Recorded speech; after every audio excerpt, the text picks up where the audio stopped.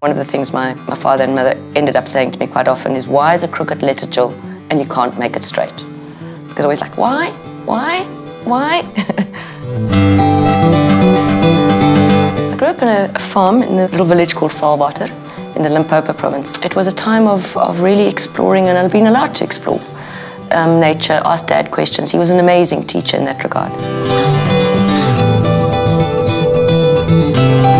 So it was in, in playing around there that I noticed a plant very dead one day and it rained and the next day it was very green. And so I proudly went back and told my dad, hey, you know what? There's something magic going down there by the river.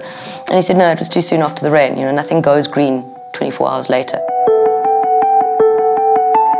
Jill Farrant is one of South Africa's leading scientists. Her dream of farmers all through Africa who can put food on the table regardless of access to water, irrigation, is what drives her. You have to keep your water levels constant or you will die.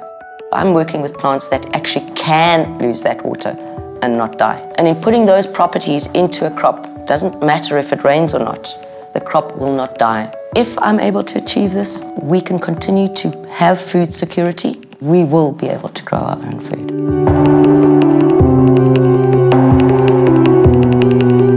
Mom wanted me to be a makeup artist at Stuttaford's. And Dad wanted me to, I don't know, just do anything academic that was happy and made me fly. So I stood up there as the cosmetic artist and the scientist and I kind of said, okay, good, guys, you know, here I am. I'm a product of the two of you and I've actually done what you really wanted me to do. Um, yeah, no, I, know I'm sad that they missed that, but I guess there's some place where they are and they're smiling hugely.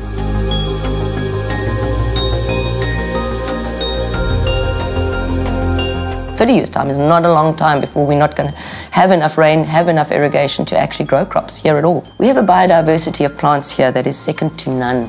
We can use our natural plant biodiversity to produce food in creative ways. We need to start understanding what we have. We actually have the ability, all of us, every single one of us in this country, to pull together and do something about it. You've got to get the word out there. The portrait was all about her relationship with water, her relationship with her work, and that water is integral to everything we do on this planet.